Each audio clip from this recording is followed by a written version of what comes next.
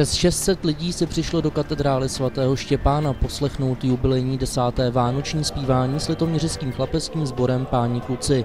Koncertu se zúčastnil také biskup litoměřický Jan Baxant.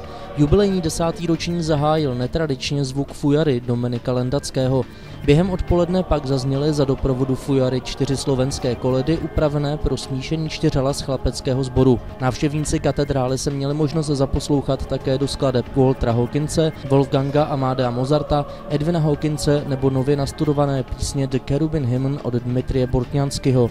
Zbor doprovodil na klavír Gaston Echegoyen a Ondřej Slavík, na fujaru Dominik Lendacký, soprán solo v podání Evy Procházkové a Antonína Němce. Mluveným slovem koncertem provedla Renata Sluková. Páni kluci mají za sebou pod vedením zbormistra Václava Hanče úspěšné období. V loňském roce vyhráli stříbrnou medaili na mezinárodní zborové soutěži Slovakia Kantát v Bratislavě. V příštím roce se chystají na koncertní turné do Ruska.